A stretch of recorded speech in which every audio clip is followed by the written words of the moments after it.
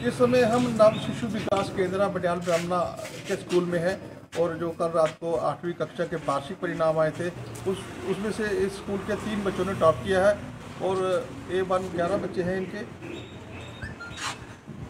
B one में seven और ए one में नाइन बच्चे हैं।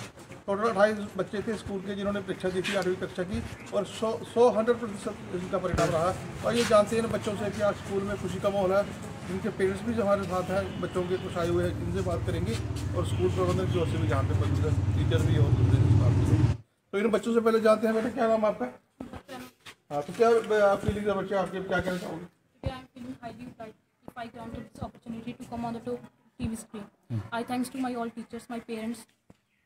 तो क्या मेहनत की आपने इसके लिए? आपको इतने अचीवमेंट में हासिल हुआ है? बहुत मेहनत की है। कितनी मेहनत की है? बहुत एक घंटे या एक दिन में आप कितने समय पढ़ाई करते थे? और कब कब समय होता है पढ़ाई करने का? अच्छा। सर रात को समय होता है पढ़ाई करने का स्पेशली मैथ्स का। हम्म। तो रात को करते थे तो इसके अलावा आपकी क्या हॉबीज है? आजकल बहुत सारे पेरेंट्स कहते हैं कि बच्चे मोबाइल बड़ा इस्तेमाल करते हैं। पहले टीवी चलता था आज मोबाइल से। हम कहीं भी कहीं भी जाते हैं तो यही बात सुनने में आती है पेरेंट्स कहते हैं बच्चे पूरे दिन मोबाइल में लगे रहते हैं। तो आप मोबाइल से मोबाइल को लेकर क्या कहना चाहें सर हाँ लिमिट तो करना चाहिए ज़्यादा नहीं करना चाहिए। आप कितने घंटे इस्तेमाल करते हैं? फिफ्टी मिनट्स उसमें से क्या जानकारी प्राप्त करते थे मोबाइल में से? नॉलेज नॉलेज के बारे में। और कोई मैसेज देना चाहेंगे जो दूसरे बच्चे हैं आपके स्कूल के वो अच्छे अंक प्राप्त करें आगे बढ़े? हाँ हार्डवर्क करो तो कुछ भी मिल सकता है। तो क्या आप करना चाह रहे हैं? आपकी क्या आगे तैयारी है किस तरह की? मैं आगे अपना बेस्ट देना चाहती हूँ। क्या बनना चाह रहे हैं आप? डॉक्टर मेरा नाम नेहा शर्मा है।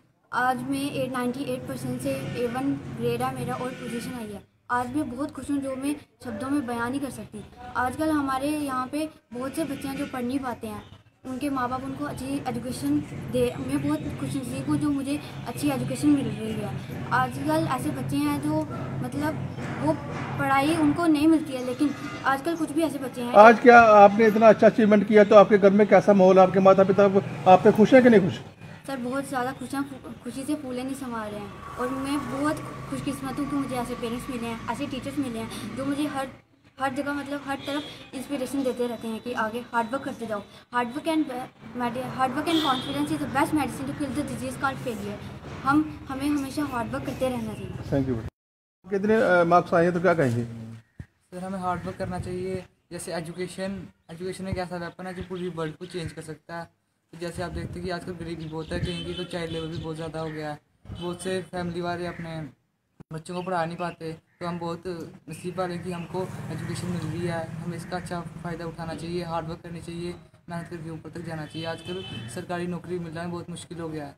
तो हम जितना ज़्यादा पढ़ेंगे, उतना ही हमारे लिए अच्छा होगा अपने फ्यूचर के लिए। the students and the students especially who were well deserved for this huge success in their life i think this is first step of the success in their life and i always wish that they get like this achievement huge achievements and i am very happy that and i think that it is a very fantastic uh, moment that uh, all of, of our students got 100% result and more of them were maximum of them were a1 grade madam कहा जाता है कि ग्रामीण क्षेत्र के जो बच्चे होते हैं इन्हें मौका नहीं मिलता प्रतिभाएँ तो होती है इन बच्चों में बहुत सारी लेकिन जैसे जैसे आपके स्कूल का सौ प्रतिशत परिणाम रहा।